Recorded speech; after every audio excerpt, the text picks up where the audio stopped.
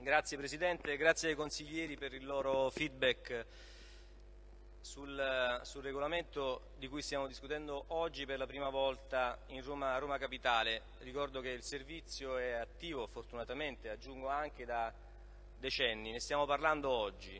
Detto questo, rispetto a, alla questione emendamenti mh, mi preme evidenziare una cosa, che gli emendamenti da una parte recepiscono l'utilissimo apporto del, degli uffici, ma ci tengo anche a sottolineare che il recepimento di quei, quei feedback tra virgolette formali e tecnici che sono insiti nei pareri dei due dipartimenti coinvolti si sarebbero chiusi in una paginetta e mezza okay?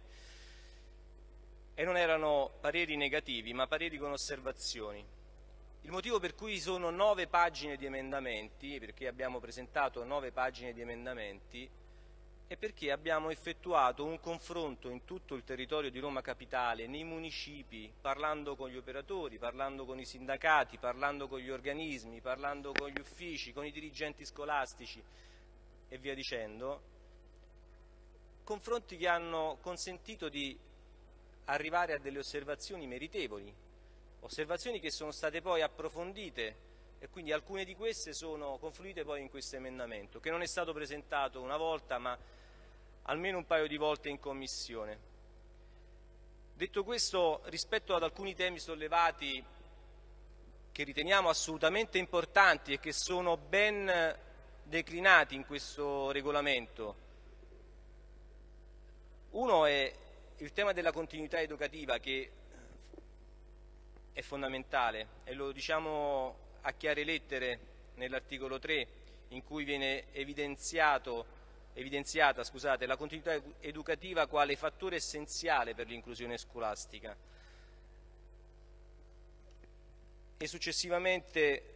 nel resto del testo del regolamento viene ripreso questo, questo principio. L'altro aspetto che invece riguarda la consumazione del pasto, noi abbiamo avuto un primo momento in cui credevamo convintamente di poter portare avanti un principio che può sembrare che è giusto, ma ricordiamoci che non sempre giusto significa legalità. Quindi sull'aspetto della consumazione del pasto a favore degli operatori, che ripetiamo rivestono un ruolo fondamentale, i margini di intervento dell'amministrazione comunale sono declinati e vincolati nell'ambito di quelle che sono le proprie prerogative. E quindi come tale, dopo una serie di approfondimenti fatti anche in occasione della discussione per un altro importante regolamento che stiamo, abbiamo illustrato in, in, Commissione con la Presidente Zotta sul, sulla riflessione scolastica, siamo convenuti ad una formula che è il massimo a nostro avviso di quello che si può fare in questo contesto Potremmo dire anche che una volta gli operatori erano dei dipendenti comunali, oggi sono, quelli dei dipendenti comunali sono una categoria in estinzione, ne restano circa 10-15. Bene, quella scelta di esternalizzare il servizio, un servizio fondamentale, come giustamente ricordava l'onorevole Fassina, non è stata fatta da questa amministrazione. Oggi ci troviamo a giocare con queste carte sul tavolo e con queste dobbiamo cercare di portare a casa il miglior risultato possibile. Noi crediamo, cred... Grazie, crediamo che,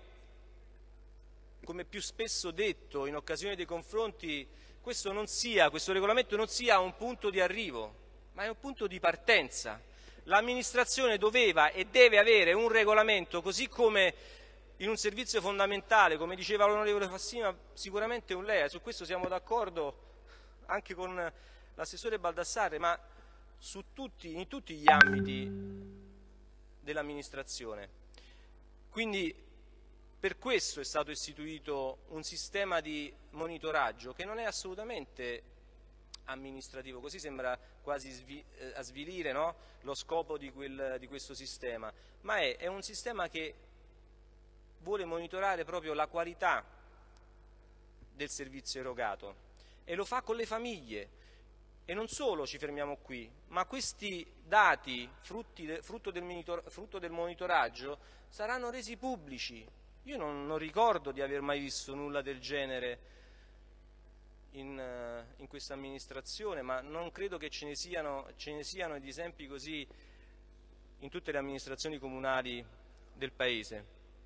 Credo che questo regolamento, frutto di un lavoro partecipato e ringrazio ancora una volta tutti coloro che hanno contribuito, dalle famiglie agli uffici, ai nostri collaboratori nel gruppo Movimento 5 Stelle, che tutti hanno partecipato con passione ad un tema che è evidentemente un tema